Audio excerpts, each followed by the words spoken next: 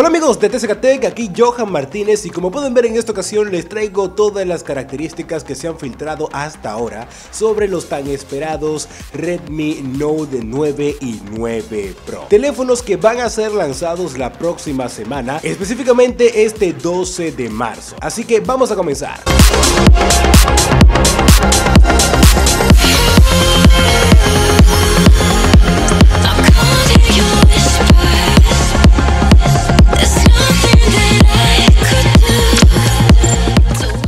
Gente, como pueden ver en pantalla y la misma compañía ha confirmado que estos teléfonos se van a caracterizar por este módulo de cámaras en donde encontramos cuatro sensores y como pueden apreciar este tiene una forma cuadrada y nos recuerda mucho a un diseño que hemos visto en el Huawei P40 Lite y también en el Huawei Mate 20 y Mate 20 Pro. Al parecer a Redmi en esta ocasión como que le faltó un poquito de creatividad. También como podemos apreciar debajo de estos sensores encontramos un flash dual y ya debajo solamente vemos el logotipo de la marca Redmi. Ya en la parte frontal de estos teléfonos tendríamos una pantalla muy pero muy bien aprovechada y también esta va a estar perforada y allí encontraremos la cámara frontal del teléfono. Me gustó mucho este detalle de la pantalla ya que no vamos a tener ese notch tipo gota que teníamos en el Redmi Note 8 y Redmi Note 8 Pro. Ahora bien en cuanto al tema de los internos hasta ahora se conoce que el Redmi Note 9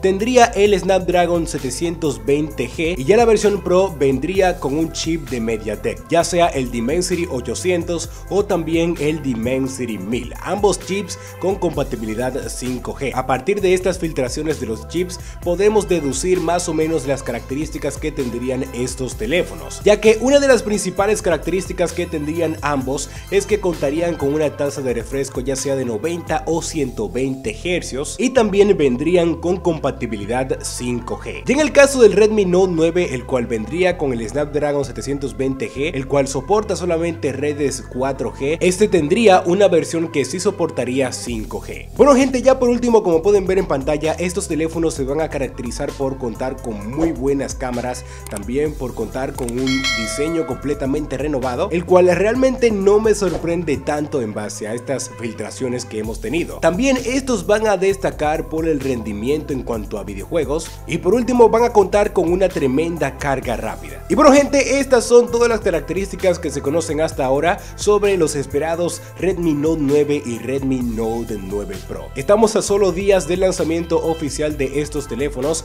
y una vez salga una que otra información en donde se revelen todas las características de estos, les voy a traer un video contándoles todas estas. Así que recuerda tu like, comparte y suscríbete ya que semanalmente estamos compartiendo interesantes videos sobre tecnología. Así que nos vemos en una próxima.